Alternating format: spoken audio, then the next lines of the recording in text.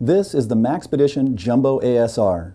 This year, we created a specialized active shooter response bag, ASR for short, based on the ergonomic Jumbo Versipack platform. Its mission is to hold and organize the essential equipment and supplies needed for first responders to react effectively to an active shooter scenario, engaging and neutralizing threats, and treating casualties. To ensure sufficient firepower when engaging threats, frontal mag pouches hold up to six M4, M16 30 round magazines. A rear concealed carry pocket fits a full-size backup pistol with double pistol mag pockets on the side. The 400 cubic inch main compartment has a double zipper opening and a lid that stays out of the way when open.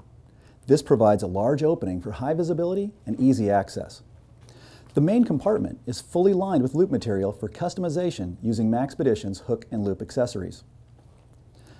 A stiffened divider helps hold the main compartment's shape and is equipped with divided elastic straps for organizing small items.